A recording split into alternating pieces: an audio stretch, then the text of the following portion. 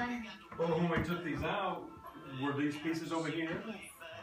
So you have one, I had one like this, one hole, one. Oh. Hi, baby girl.